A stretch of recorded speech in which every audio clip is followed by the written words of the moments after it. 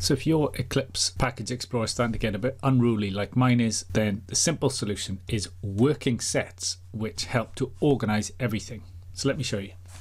Now if I select the ones I want to add, come into new, right click anywhere in the Package Explorer, go to other and just start typing working and let's choose Java working set and you can see I can call it whatever I want. Now the ones I had already selected at the project level are in there. So let's say WSDL techniques, right? And I can add any more here and simply press finish. Now the thing is you're not going to see that uh, working set right away. So what you need to do is come and press these three dots and then you can get into select working set. And so I just did that one. If I press OK, then I'll go into it in the Package Explorer. Equally, I can then assign a working set over in the Project Explorer as well. Select. So you can see I'm in a different one here.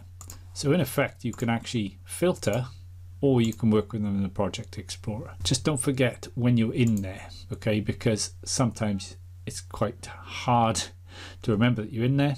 If I close the Project Explorer, if I want to get back, the simplest way is simply just to deselect working set it goes back to default. Or again, you can see three dots again, select working sets, and you can work with multiple at a time. I hope you found it useful. See you again soon. Thanks.